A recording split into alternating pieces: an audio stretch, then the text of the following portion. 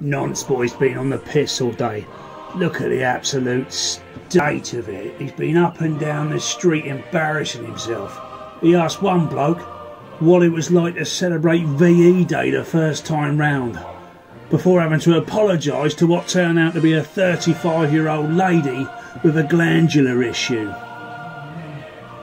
All of this in front of his 10 year old daughter, who had to follow him around all day.